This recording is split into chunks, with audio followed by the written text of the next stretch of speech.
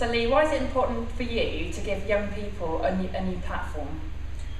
I think I think it is really important actually, Natalie, to give people a young platform. And I, I grew up uh, in a council house.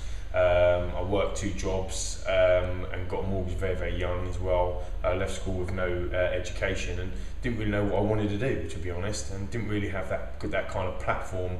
I've, I've been lucky in a sense because I kind of fell into things, but it's come through hard work and determination. Um, there's a ray of talent out there. We're, we're just in front of the, the Tottenham Hotspur Hall of Fame here. We can see all the, the array of talent on the wall.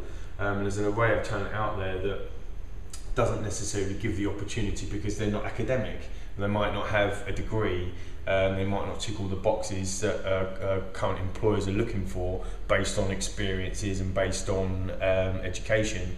And what, what Raw Talent Academy is all about is giving everybody a level playing field. Um, so it doesn't matter if you've come from uh, a council it doesn't matter if you've come from a market store, it doesn't matter if you've, if you've got a degree, doesn't matter if you've got a PhD.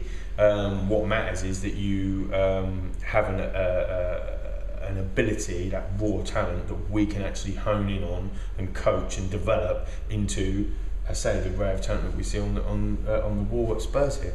And uh, for organisations, why is it important for them to open up their doors? They might be recruiting the same kinds of candidates time and time again. Why is it important to them to diversify? Well, I think you've hit nail on the head there. I mean, I, I use the term recycle. We recycle a lot of things nowadays, and we, we get told it's great to recycle. But what we what we end up doing is re- recycling staff or recycling talent that actually shouldn't be recycled, and maybe we should be looking at new, fresh, young talent that comes into into their organisations, into their businesses. And we live in times at the moment where it's got the highest unemployment um, record for, for a long period, uh, for, for many years.